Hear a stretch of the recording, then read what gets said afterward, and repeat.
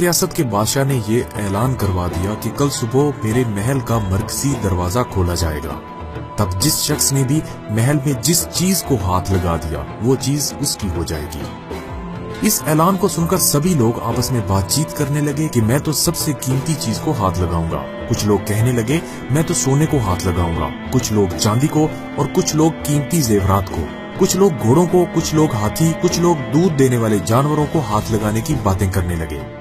जब सुबह महल का मरकजी दरवाज़ा खुला और सब लोग अपनी अपनी मनपसंद चीज़ों के लिए दौड़े, सबको इस बात की जल्दी थी कि पहले मैं अपनी मनपसंद चीज़ को हाथ लगा दूँ, ताकि वो चीज़ हमेशा के लिए मेरी हो जाए। बादशाह अपनी जगह पर बैठा सबको देख रहा था और अपने आसपास हो रही भागदौड़ को देखकर मुस्कुरा रहा था।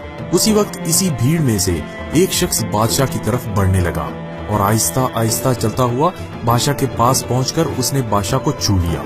बादशाह को हाथ लगाते ही बादशाह उसी का हो गया और बादशाह की हर चीज़ भी उसी की हो गई। जिस तरह बादशाह ने इन लोगों को मौका दिया और इन लोगों ने गलतियाँ की, ठीक उसी तरह सारी दुनिया का मालिक भी हम सबको रोज मौका देता है। लेकिन अफसोस, हम लोग भी हर रोज गलतियाँ करते हैं।